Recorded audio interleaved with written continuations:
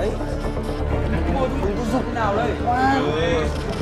nhá ok ok ok ok rồi rồi rồi nào chặt cốt quả này luôn này kìa kìa kìa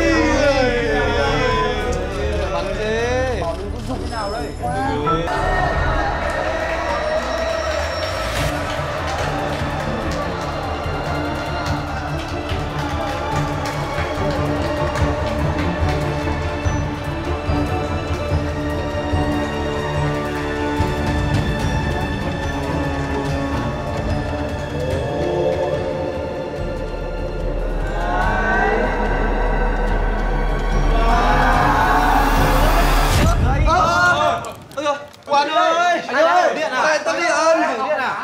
đây thôi? đá vào quá đấy. Ui. Ai đấy? Thảo ấy.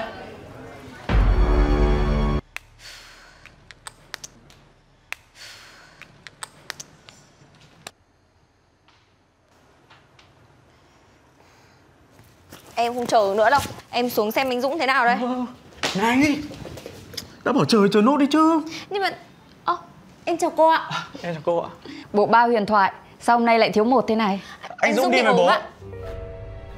Rồi ạ. Rốt cuộc thì ai đúng? Dạ. Bác ơi anh Dũng đưa chuyện cho bác ạ.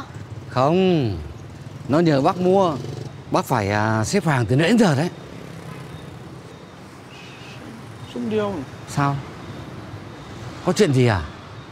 Dạ. Hay là nó lại trốn học đi chơi? Dạ. Cái thằng này Suốt ngày la cả quán game net. Không biết thì tương lai nó thế nào nhỉ? Ui bác lo gì cho tương lai của anh ý ạ? Nhà anh ấy giàu lắm Ở chỗ khu đô thị Thanh Mai ấy ạ. Đúng đấy ạ. Ờ.